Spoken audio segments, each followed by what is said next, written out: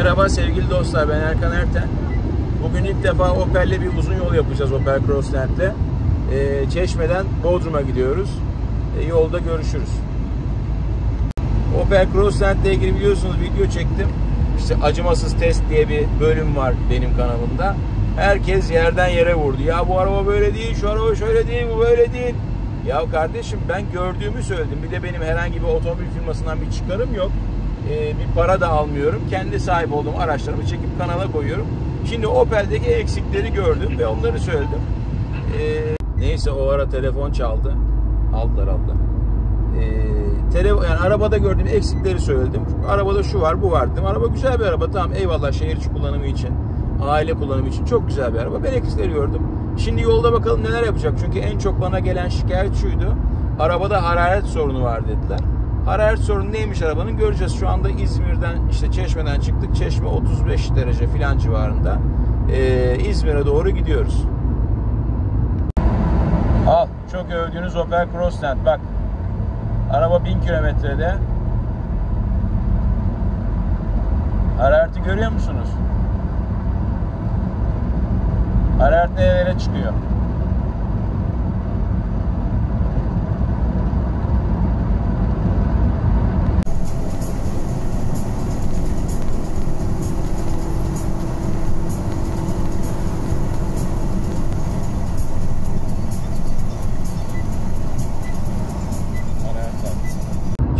Çeşme'den İzmir'e kadar sağ salim geldik. İzmir'den Limontepe'ye tırmanan bir yokuş vardır. Orada araba gördüğünüz gibi korkunç bir hararet yapmaya başladı. Yani bu araçlar hararetle çalışır, Opel'ler hararetle çalışır. Fakat Opel'in teknolojisi değil bu. Bu tamamen Peugeot teknolojisi. Çünkü Peugeot'ların o 1.4 HDI motorları vardır. Allah'ın belası bir motordur o. Sürekli hararet yapar, şişer, yürümez. Şimdi araba hararet yaptığında şişti ve yürümedi. Klimayı kesti. Zaten bunlarda bir iki motor olduğu için gaza yüklendiğinizde klimayı kesiyor fakat o limon tepe rampasını çıkarken araba hararet yaptı şişti. Yani o lanet Peugeot motorlarını kullanmışlar Opel'de. Ki Opel general motordur. Ee, Vectra B'lerde, Vectra C'lerde 95 derece, 99 derecelerde termostat açardı ve e, araba yine de hiç şişme, kapaklanma yapmazdı. Hayatımda ilk defa bir Opel araçta böyle bir şey yaşıyorum. Bu arada araba 1000 kilometrede gözüküyor burada zaten. sonra Torbalı ve Aydın yönüne Bu arada şimdi derler ki hava sıcaktı, oydu buydu bakın hava 34 derece. Yani 34 derece havada hangi arabamla gidersem gideyim Kia, e, işte Volkswagen, e, diğer arabalar Chrysler, ıvır kıvır Mercedes herhangi bir şekilde bir şey. Hatta şöyle söyleyeyim 2 yıl önce hatta pandemi zamanı Kia ile 38 dereceydi, 40 dereceydi. Klima son sürat açık, 120-140 sabitle. Gittiğimde de bunu yaşamadım.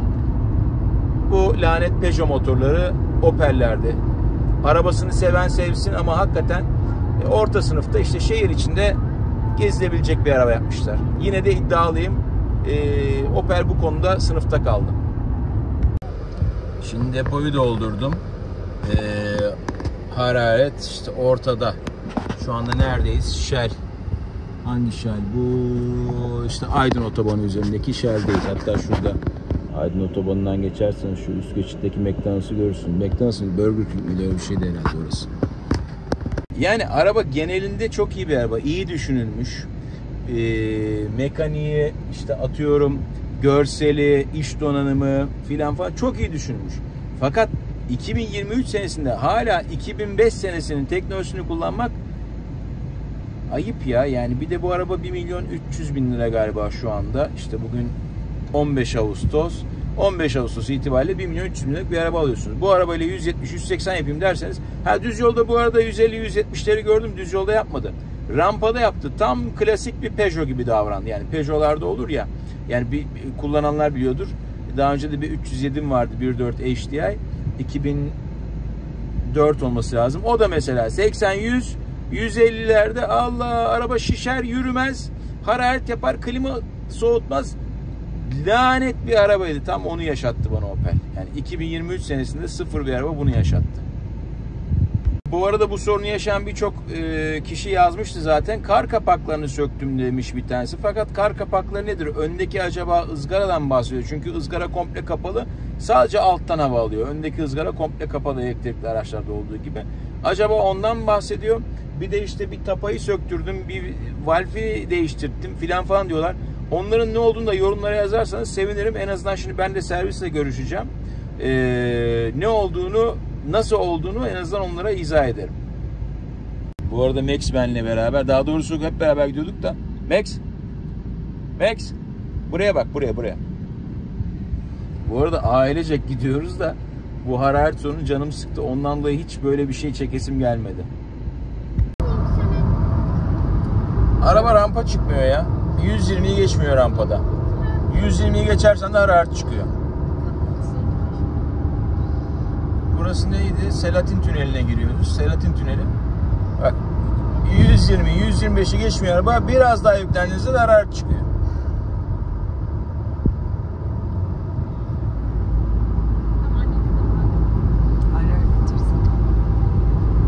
Hah, Selatin Tüneli.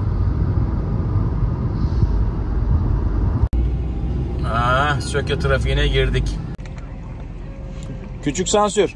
İç lan suyunu hadi. Bir tek mola ver. Ulan elimi çekiyormuşum. Bir tek e, Max su içsin diye mola veriyoruz. Tamam mısın? Devam edelim mi? İşek misin Hadi da? hadi hadi. Eve gitmek istedim. Bu arada esasında arabayı benden çok eşim kullandı. Senin yorumun ne arabayla ilgili? Yani ilk başlarda çok çok çok çok çok beğeniyordum. Hatta sana kızıyordum. Ta ki nereye kadar? Hayır, Toz kondurmuyordum. Fakat eee, hani sadece şehir içine çıktığın zaman benim şöyle bir problemim var. Araba büyük müsün küçük müsün? Bence Opel'le değil. Benim eee, SUV'lerle bir sorunum var. Bu ama bu psikolojik olarak Ee, arabanın yani şeyleri yüksek. Araba ne büyük araba ne küçük araba. Park ederken büyük değil, küçük değil. Beni bir linç ettiler var ya doğru konuş Opel Corsa'yla ilgili. Ya onu yok ben senin gibi e, Bütün yorumlarda. değilim. Çok güzel hızlanıyor. Araba çok güzel toparlıyor kendini. Çok güzel. Gerçekten çok beğeniyorum. İlk eleştirim şeydi. Kül tablası olmaması. Ha evet. yani bu tablası. dünya nereye gidiyor? Sigara içmeyin kardeşim arabada. Sigara sağlığa zararlıdır. Asla içmeyin ama bir kağıt atarsınız, cikletinizi kağıda koyar atarsınız. Ya kül tablası olmaması ne demek? Dünyanın en saçma şeyi. Fakat işte Yeni arabalarda yok artık. Evet. Çakmak da yok. Kül tablosu da bu yok. dünya Çoğu nereye gidiyor? yok. Erkan Erten kanalınızda bunu konuşun. Ya biz Ay, dünyayı kül konuşamıyoruz. tablası nasıl kalkabilir? Opel'in hararet sorunu konuşuyoruz şu anda. Şimdi de evet e, bugün de e, Çeşme'den Bodrum'a doğru çıkalım dedik. Tabii benim gibi narin tıngır mıngır kullanmıyor Erkan. E, seri kullanıyor diye. E, hararet çıktı ve sinir oldum. Gıcık oldum şu an. o kadar arabayı savunuyordum Erkan'a karşı. Arabaya gıcık oldum çünkü çok ciddi Telefonum savunuyordum. geldi. Velhasıl kelam araba güzel. Güzel Ha, bir de de eksikleri var. e, Ha. Ha bak onu da sana izah edeyim bekle. Şimdi mesela bunların mesafesi cam mesafesi cam ufak. Bunlar yukarıda. Şu torpido çok önde, çok uzun. Yani bu psikolojik olarak camlar mesela yukarıda. Bu psikolojik olarak işte psikolojik Arabanın olarak önü çok uzun gibi sana hareket arabayı ediyorsun. büyük ve geniş olarak hissettiriyor. Fakat araba büyük ve geniş değil. Evet. Ama normalde mesela Kia'da daha önce Kia Sportage kullanıyordu. Şimdi Kia'da re- reklam yapabilir miyiz kanalınızda? yap. Yani tekrar koşa koşa Kia alırım. ben Kia'cıyım. Ama Kia Sportage'in yenileri Ama de öyle. herhalde yine gidip ikinci el alırım. ikinci el bulurum temizini. O Kia'yı rahat kullandığım kadar öyle değil mi? Her yere dağ bayır tırmandık. Yani içine her Tabii türlü da eşya dağ. İstanbul'dan her şeyi yükledik getirdik. Ee, ve kullanımı korkunç rahat. Şimdi onu diyorum Kia bundan daha büyük araba. Şak diye park ediyordum. Bunda psikolojisine alışamadım. Park ediyorum. Aa, araba ufak kalıyor iki arabanın arasında. Bir dahaki sefer diyorum ki ya bu küçük araba. Hayır zorlanıyor. Ee, bir de İşte şu görsel olarak göz yoldan çıkarken evet şu camların darlığı aslında Ya ne tehlikeli. dertliymişsin bu Opel Cross'tan. Evet sana karşı savunuyormuşum sadece gıcıklığımda. Ee, ama bak aynı yere geliyor. Ha şunu bitireyim önce. Ee, yan tarafı görürken hakikaten zorlanıyorsun. Yani geçen gün şey oldum. Ya Kia'da camlar ferahtım oldum. Çıkacağım çıkamıyorum yan yolda. Ee, ya şehir içi için gayet tıngır mıngır için ideal. Fakat hani tek araba bu olacaksa artık Opel var ya bizi komple silecek. Parayı verip yani tek bir araba tanesi Ferrari'ye gaz tek arabanız olacaksa düşünün. Bir de hararet çıktı bugün. Yani ben daha farklı şeyler söyleyeceğimi tasarlamıştım kafamda. Erkan'a karşı savunacaktım ama e, yok. Yani tek araba olacaksa düşünün. Bilmiyorum ya da Şehir içi için bu araba çok ideal bir ideal. araba. Yani şehir ama içi bak aile şeyi çok kullanımında. güzel. Çok güzel hızlanıyor. E, çok güzel toparlıyor araba. Yani 1.230 beygir Sollamalarda. olmasına rağmen, Her evet. şey evet. e, çok güzel.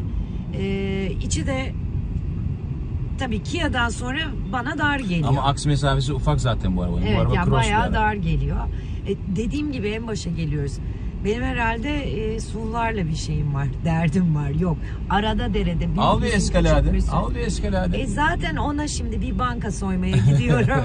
e, o işi halledip o da 10 alacağım. milyondu. Şimdi 18 mi 20 milyon mu ne Ya oldu ucuzmuş, arabada? gayet iyi ya. Al iki tane. Bir düzini alalım. Aa, Hatta tabii, çekiliş tabii. yapıp kanalında Birini yedek parça yaparız. edelim. benim ya benim kanal 800 kişilik. Kendi Tamam. kendine hep cepten harcadığım bir Butik kanal. kanal. Butik kanal.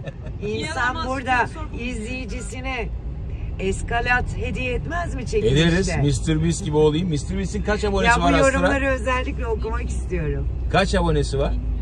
Herhalde 100 milyon filandır. Vardır. Neyse burada polis kontrol evet kontrol varmış hadi kapatalım. Gibiymiş.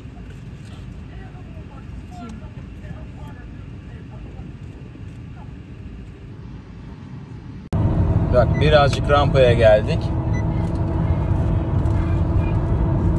Hararet yine kıpırdamaya başladı bak. Bak rampa çıkıyoruz. Kaçta çıkıyoruz? Yüzde. Gördünüz mü hararet? Gazdan ayağımı çekiyorum. Daha da yükseldi.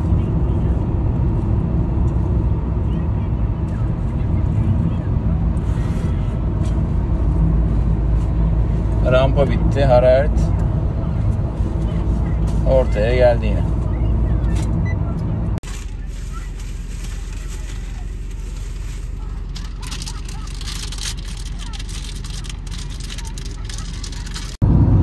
Sol taraf Bafa Gölü.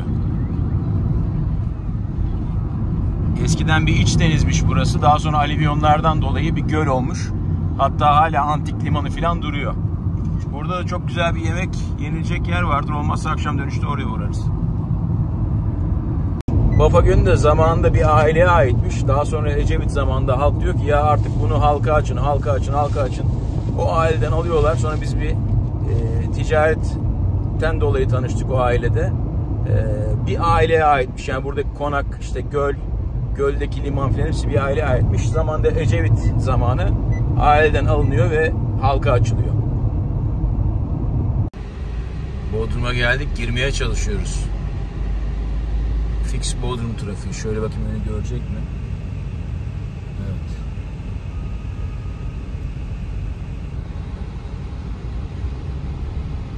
Bu arada depoyu doldurdum. Araba kaç yakıyor? 8 değil. Bakayım şunu. Bunu daha hesaplamamış. Sıfırladım çünkü. 8 gösteriyor ama hemen hemen 14-15 yapıyor. Yani her şu çentik 100 kilometre, 100, 200, 300, 400 kilometre falan yol yapıyor full depoyla araba. Bakalım düşecek mi ama daha düşmedi.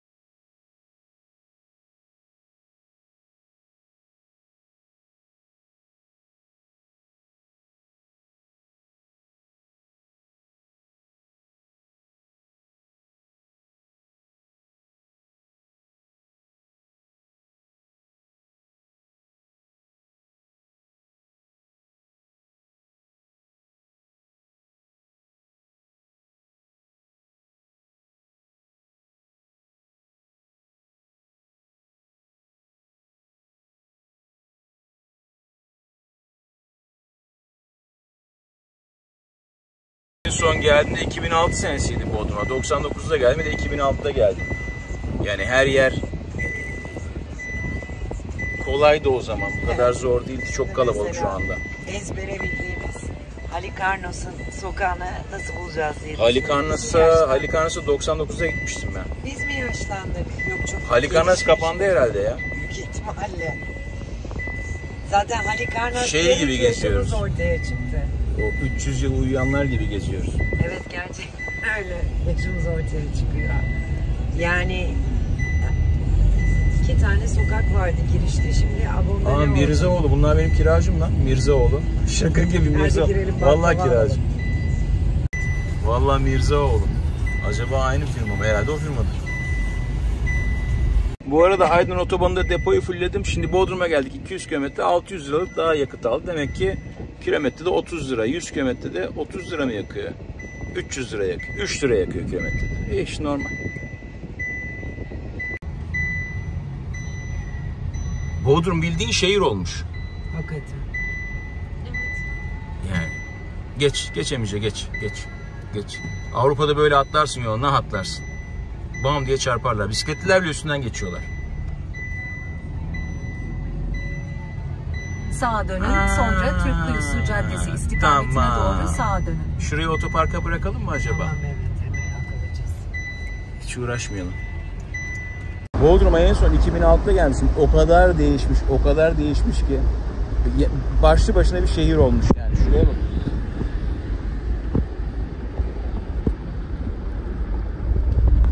Yollar, liman filan falan inanılmaz olmuş. Gel kale tarafına gidelim gelin. Vay vay vay. Kaç sene oldu. Dur şuradan çekelim. Şimdi yanımdan ayrılma. Max bir sakin ol lan. Şş, Dana.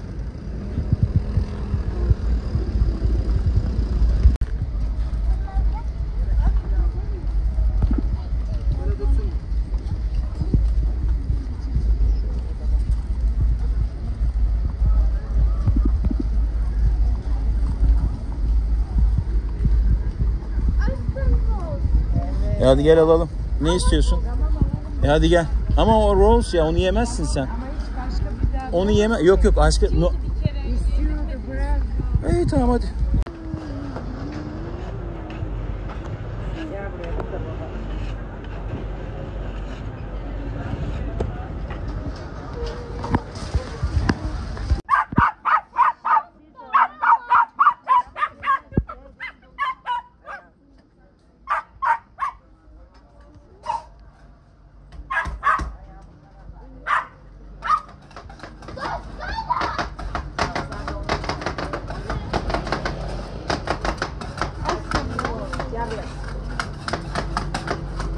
Sen ister misin aşkım bu?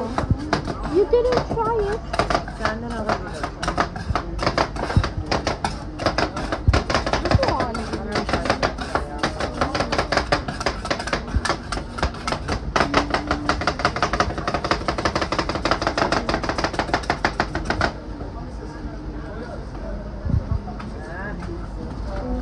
Ice cream mi oldu? Şuradan niye çek? Hemen camdan çekiyorum salak gibi.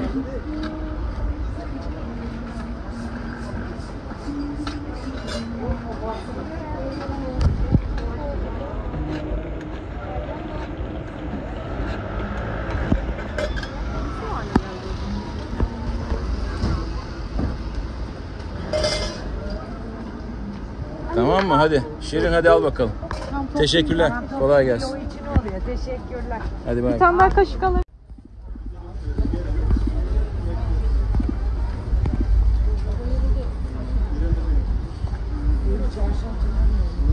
Sağdan gidin dedi. Zeki Müren'in evine gidiyorsunuz dedi.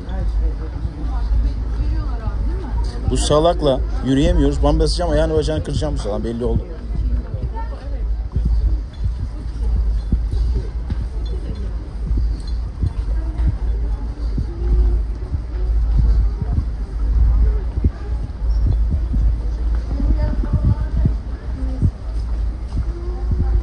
Şu şu gelen yol Barlar Sokağı'ydı herhalde. Şuraya kadardı.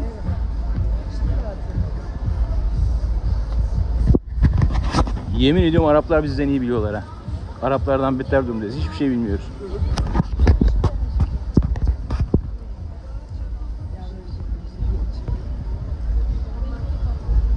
Aa, lokma ulan. Bordun lokması da süper olur en ama sonunda onu fenalaşırız şimdi. Biraz serinlesin. Erkan şimdi bozuma yerini anladı. Fenalaşırız bu havada. Esas bunun kralı Ayvalık'tır ama bunlar da iyi yaparlar.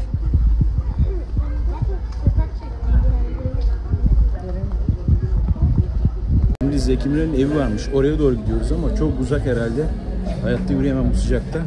Uğraşamam da Zeki Müren'in eviyle. Bir kilometre yürüyecekmişiz. Yana, yanaklarım kızardı sıcaktan. Çok çok sıcak. Şurada bir yerde oturalım. Çay, kahve, kola, gazoz. O manzara güzel de orada oturup E tamam oraya gideriz. Yürüyelim öyle biraz. Evet. Oraya gideriz.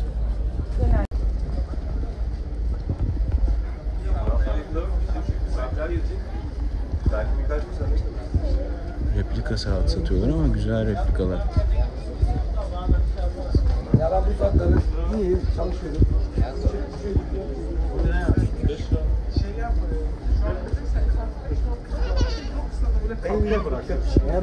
Klimalı yol. Oh. Mağazalar sık sık tabi. Bütün klimalar da sokağa geliyor. Püfür püfür geziyorsunuz burada. Oh. Güzel. Ha bir daha söyle.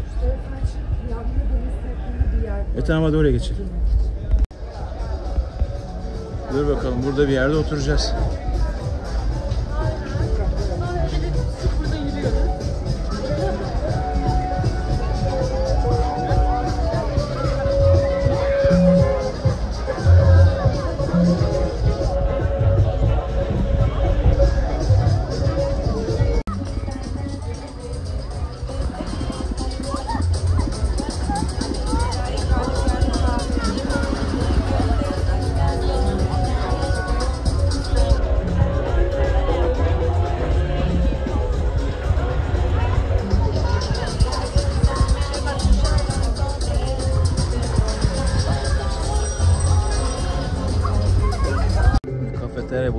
Şimdi oturuyoruz şöyle denize sıfır.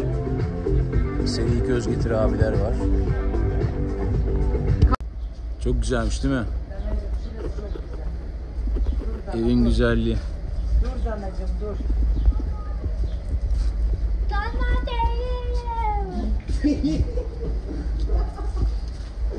Hadi gelin bakalım.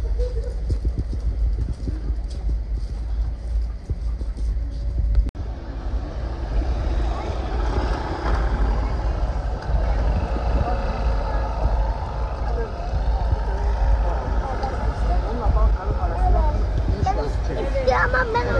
Teşekkürler. Gel. Murat ver.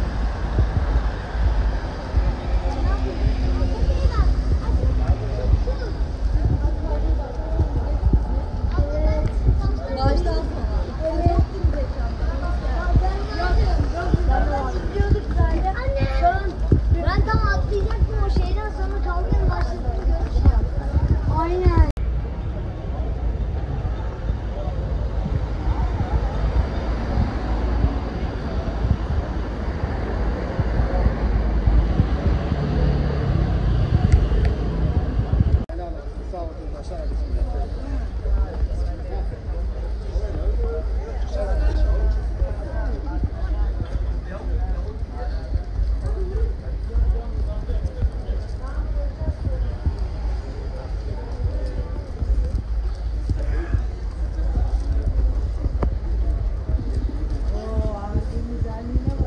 Şuradan sağa döneceğiz herhalde.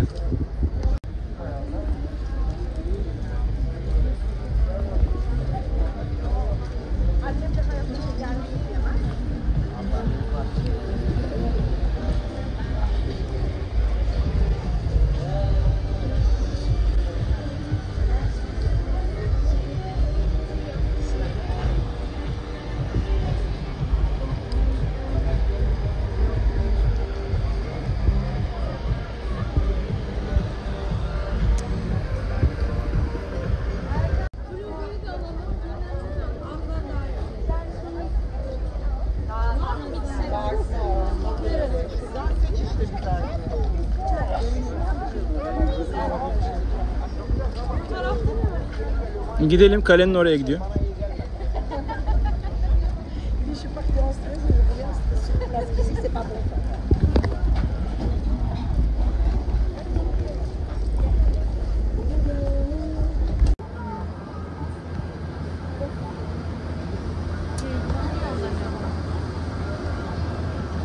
Valla finalinde çok güzel bir yere geldik. Ne burası? Neyzen mi? Monsieur. Monsieur. Limanda Monsieur diye bir yer. Çok güzel yemekler harika. Başka bir yere gitmiş. Bu Udum'da tabii her şey biraz tuzlu ama buraya göre iyi bir restoran. Tavsiye ederim.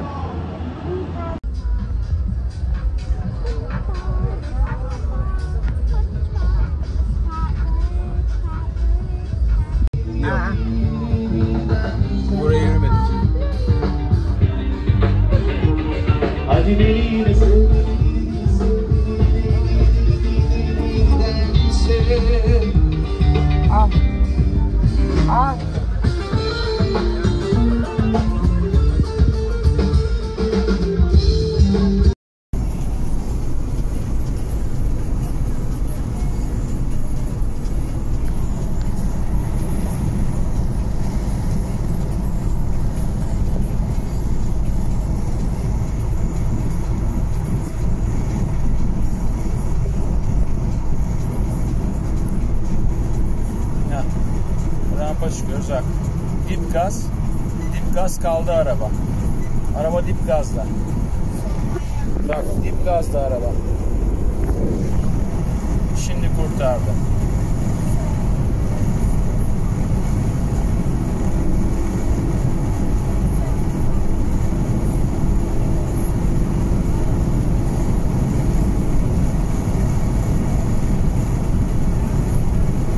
Ha.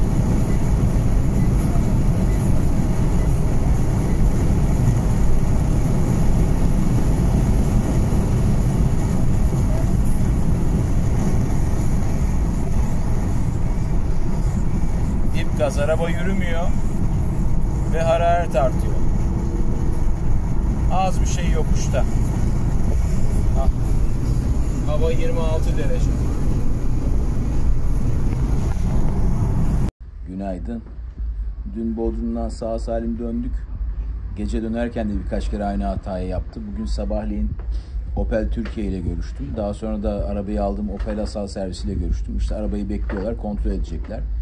Tahminimce şanzımanla ilgili bir sıkıntı var. Çünkü hararet elektronik olarak ibre kalkıyor ve iniyor. O kadar hızlı ibre kalkıp ve inmez. Onun harici bir büyük ihtimal şanzıman kaynaklı bir sorun gibi gözüküyor.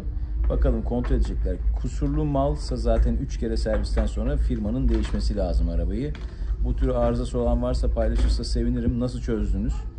Ee, daha önce birçok yorum yapılmıştı. Bir yorumlarda buluşalım. Ee, onunla ilgili de bir video çekeceğim. Şimdi İstanbul'a dönünce götüreceğim ya da İzmir'de bir servis yönlendirdiler. İzmir'deki servis gelirse bir onlarla görüşeceğim. Bakalım nasıl çözeceğiz. Ee, yorumlarda buluşalım. Görüşmek üzere.